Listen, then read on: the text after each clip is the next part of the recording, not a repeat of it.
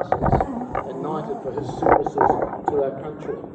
He saw World War, One action in Egypt and on the Western Front, and then served again during World War Two in Greece, North Africa, and the Pacific. A law student, he enlisted as a private in early 1915, finishing the war as a heavily decorated lieutenant colonel and commander of the 4th Battalion, 3rd New Zealand Rifle Brigade. Lieutenant Barrowclough personally led